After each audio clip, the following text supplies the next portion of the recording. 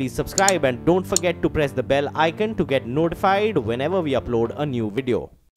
Hello मैं हूँ हरीम ढाई बजने ही वाले हैं और लंच बॉक्स की लजीज डिशेस की खुशबू आने लगी है तो आइए बताते हैं क्या है आज के मसालेदार लंच बॉक्स में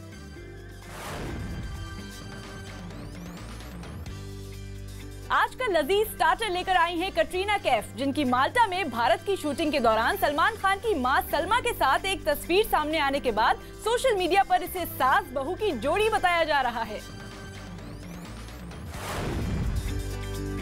लंच बॉक्स में अपनी हाजिर जवाबी से मज़ेदार तड़का लगाएँगे शाहरुख खान, जिन्होंने कहा कि शायद उनकी अंग्रेज़ी कमज़ोर होने की वजह से उन्हें हॉलीवुड की फ़िल्में नहीं मिलती लेकिन वो चाहेंगे कि एक दिन ऐसा आए जब टॉम क्रूज हिंदी फ़िल्म में काम की इच्छा जताएँ।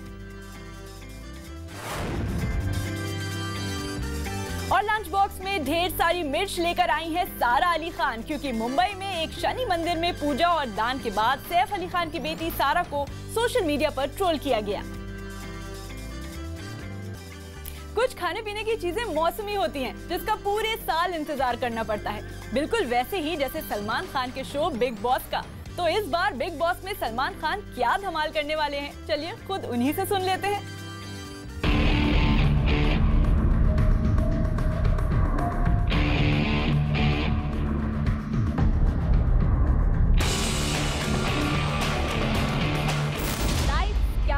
और एक्शन बोलते ही सलमान खान शुरू हो गए। एक्शन खाने पीने के शौकीन लोगों को तो बस शादी ब्याह के सीज़न का इंतज़ार रहता है। वैसे हवाओं में कई शादियों के चर्चे हैं। तो कुछ खबरें ऐसी भी उड़ रही हैं जो बेशक सलमान खान के फैंस के लिए खुशखबरी साबित हो सकती हैं। हालाँकि अब तक कुछ भी ऑफिशियली तो नहीं बताया गया लेकिन फिर भी कुछ तो है।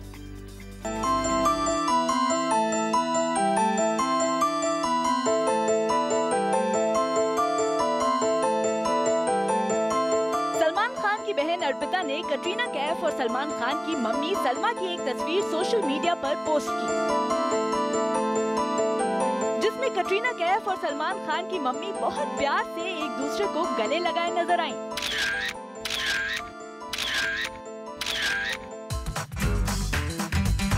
तस्वीर पोस्ट करने की देरी थी कि देखते ही देखते सलमान खान के फैंस ने उनका रिश्ता पक्का कर दिया सलमान खान कब शादी करेंगे और किससे शादी करेंगे, ये तो वक्त बताएगा। सोशल मीडिया पर इन तस्वीरों के वायरल होने के बाद उनकी मम्मी सलमा को बधाइयों का सिलसिला शुरू हो गया। एक यूज़र ने लिखा, सास बहू गोल। जिसके बाद अर्पिता ने इसका जवाब काफ़ी मज़ेदार अंदाज में कमेंट में बंदर वाला इमोजी बनाकर दिया। कटरीना और सलमान की माँ की तस्वीर देखकर एक यूज़र ने इसे सास बहू का रिश्ता बताया। तो एक ने सलमान खान की मम्मी को कटरीना को बहू बना लेने की सलाह दे डाली। जबकि एक यूज़र ने लिखा, बहू हथारी, आराम से झप्पी पाओ। हालाँकि कुछ देर बाद ही अर्पिता ने इस तस्वीर को डिलीट कर दिया, लेकिन तब तक सोशल मीडिया पर एक तस्वीर की स्क्रिप्ट ने पूरी फ़िल्म तैयार कर दी थी। लोगों ने तस्वीर पोस्ट करने की वजह भले ही ना पूछी हो, लेकिन डिलीट करने के बाद कयास लगाने ज़रूर शुरू कर दिए।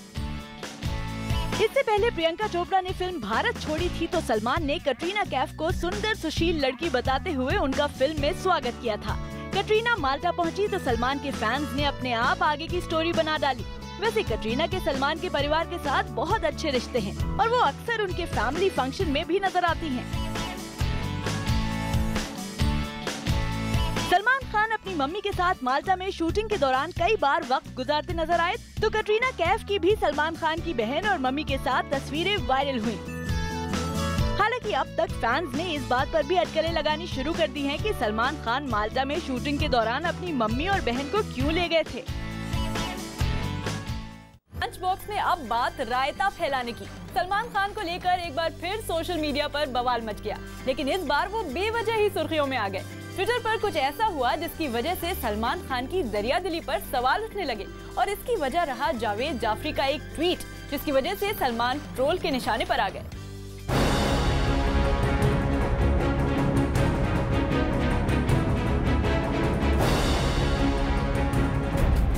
बाढ़ से जूझते केरल की इन तस्वीरों के सामने आने के बाद कहा गया कि कई दूसरे स्टार की तरह सलमान ने भी मदद का ऐलान किया है। सलमान की दरियादिली के बारे में जावेद जाफरी ने एक ट्वीट किया और इस सवाल को हवा दे दी कि क्या वाकई सलमान ने केरल की मदद की है। जावेद जाफरी ने ट्वीट किया, सुना है कि सलमान खान ने केरल के लिए 12 करोड़ रुपए दान में दिए हैं। ये आदमी कुछ अलग ही तरह का है। कितनों की दुआएँ लेके चल रही हैं इसे। भाई भगवान आपका भला करे। लेकिन जावेद जाफरी के इस ट्वीट का बिल्कुल उल्टा असर हुआ। ट्रोल ने उनकी आलोचना करनी शुरू कर दी। कुछ लोगों ने तो जावेद जाफरी से इसका सबूत तक मांग लिया। एक शख्स ने लिखा कि जो कुछ भी सुना जाए, ज़रूरी नहीं कि वो सच ही हो, जब तक कि आधिकारिक तौर पर न कहा जाए। तो वहीं एक ने लिखा, बिना कंफर्म किए कुछ भी पोस्ट नहीं करना चाहिए। ये सिर्फ़ एक स्टंट है। उन्होंने कुछ भी नहीं दान दिया। तो वहीं एक यूज़र ने तो केरल सरकार का वो ट्वीट पोस्ट कर दिया, जिसमें केरल के लिए दान देने वाले फिल्मी कलाकारों को केरल सरकार ने धन्यवाद दिया था। और इस ट्वीट के साथ उस यूज़र ने लिखा, इसमें सलमान कहाँ है? आप जो कुछ भी इंटरनेट पर सुनते हैं, वो सच नहीं होता। 12 करोड़ बहुत बड़ी राशि है। वैसे सलमान खान इन दिनों अपनी आने वाली फ़िल्म भारत की शूटिंग के लिए माल्टा में हैं और अटल जी के निधन के पाँच दिन बाद शोक जताने के लिए ट्रोल किए जा चुके हैं। ऐसे में केरल के लिए 12 करोड़ का दान देने की बात पर ट्रोल ने सवाल उठा दिए। इसके बाद सोशल मीडिया पर किरकिरी झेलने के बाद जावेद जाफरी ने ट्विटर पर सफ़ाई दी और कहा कि जब तक उन्हें मदद के बारे में पुख्ता जानकारी नहीं मिल जाती, तब तक इसे हटा रहे हैं। वैसे केरल में बाढ़ से मची तबाही के बाद राजनीति से लेकर फ़िल्म इंडस्ट्री तक कई लोग मदद के लिए सामने आ चुके हैं। अमिताभ बच्चन, शाहरुख खान और इंटरनेट पर सुर्खियाँ बटोर चुकी प्रिया प्रकाश से लेकर बाहुबली प्रभास तक केरल को तबाही से निपटने के लिए योगदान दे चुके हैं तो वहीं रणदीप हुड्डा खुद केरल की रिलीफ कैंप्स में काम करते नज़र आए रणदीप हुड्डा की ये तस्वीरें सोशल मीडिया पर जमकर वायरल भी हो रही हैं। अभिषेक बच्चन करीब दो साल बाद फ़िल्म में दिखाई देंगे। अपनी आने वाली फ़िल्म की रिलीज़ से पहले अभिषेक बच्चन पूरी टीम के साथ अमृतसर के स्वर्ण मंदिर पहुँच, पहुँचे, जहाँ उन्होंने माथा टेका और गुरुद्वारे में सेवा की। स्वर्ण मंदिर में अभिषेक बच्चन को सेवा करते देख वहाँ मौजूद लोग हैरान हो गए। अपनी फ़िल्म के प्रमोशन के लिए माधुरी दीक्षित के शो में पहुँची काजोल। आशा भोसले को देखकर बेहद खुश हो गई। और जैसे ही आशा भोसले ने काजोल की फ़िल्म का गाना गाया तो काजोल उन्हें चेयर करने से खुद को रोक नहीं पाई। और इस दौरान माधुरी दीक्षित आशा भोसले का वीडियो बनाने लगी।